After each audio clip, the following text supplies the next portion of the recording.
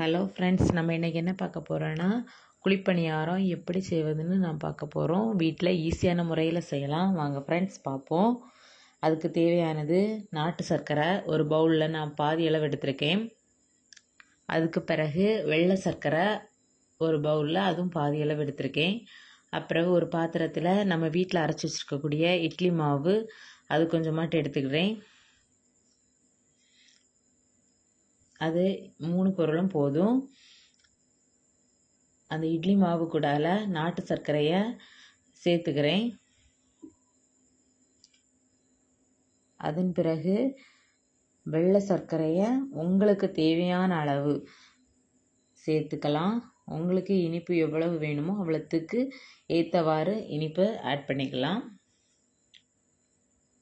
ரெண்டையும் சேர்த்தாச்சு. இதுக்கு கூட ஏலக்காய் பொடி இருந்தாலும் போட்டுக்கிடலாம். போட்டு இவ்வளோத்தையும் போட்டு மிக்ஸ் பண்ணுறேன் அந்த சர்க்கரை வந்து நல்லா கரையிற அளவுக்கு நல்லா கை வச்சு கை வச்சு பிசைஞ்சு விட்டுக்கிடணும்.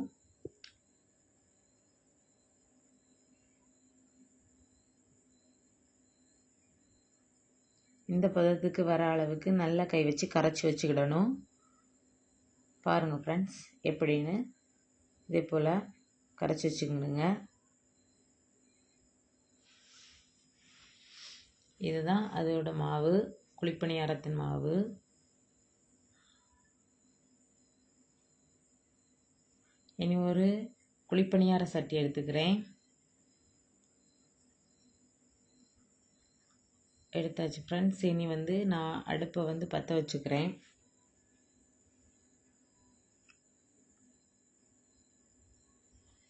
அதில் அடுப்பானது அந்த பாத்திரம் வந்து நல்லா வந்து சூடாகணும்.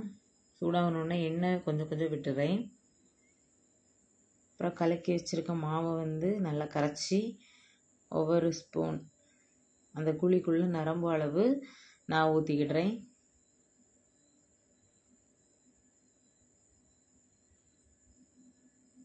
எல்லா குழியும் ஃபில் ஆகணும்.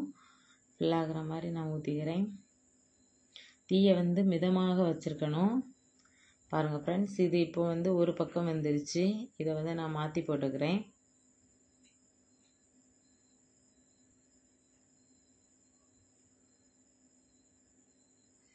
எல்லாத்தையும் ஒன் பை ஒன்னாக மாற்றி போட்டுக்கிறேன். இது வந்து பொன்னிற கலரில் வந்து வேகும்.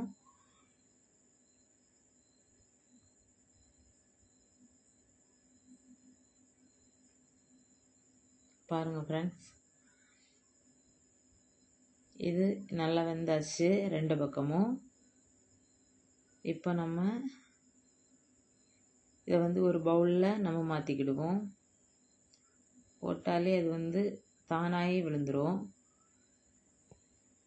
இதே போல் எல்லா இதையும் நம்ம பண்ணி மாவையும் பண்ணிடுவோம் பண்ணி முடிச்சாச்சு ஃப்ரெண்ட்ஸ் பாருங்கள் பார்க்கறதுக்கு எவ்வளவு கலராக எவ்வளோ அழகாக இருக்குது. இன்னும் பாருங்கள் ஃப்ரெண்ட்ஸ் நான் இப்போது இதிலிருந்து ஒன்று எடுத்துக்கிறேன். எவ்வளோ சாஃப்ட்னஸாக பஞ்சு போல் இருக்குதுன்னு நீங்களே பார்க்குறீங்க நல்லா சாஃப்டாக இருக்கும். நீங்களே இதை வீட்டில் செய்து பாருங்கள் பிச்சாலே எவ்வளோத்துக்கு பஞ்சு போல் பெய்யுதுன்னு பார்த்துக்கிடுங்க நல்லா சாஃப்டாக இருக்கும்.